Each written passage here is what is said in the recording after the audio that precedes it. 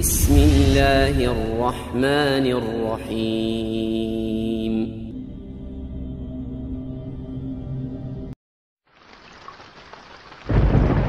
أغمض عينيك وتذكر. أغمض عينيك وتذكر. تسبيحا حلوا كالعنبر. واجعل إبصارك للتقوى. الأخضر واجعل إبصارك للتقوى عنوانا للحب الأخضر.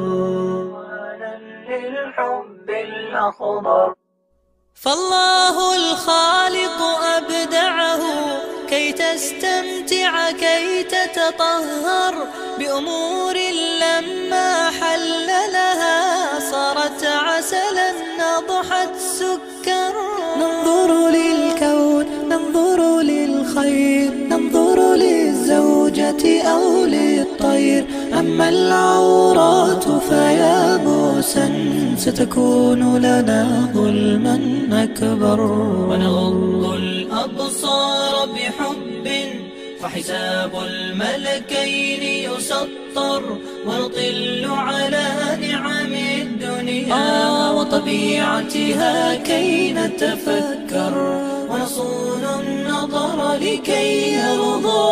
رب الأكوان بما دبر. رب الأكوان بما دبر. رب الأكوان بما دبر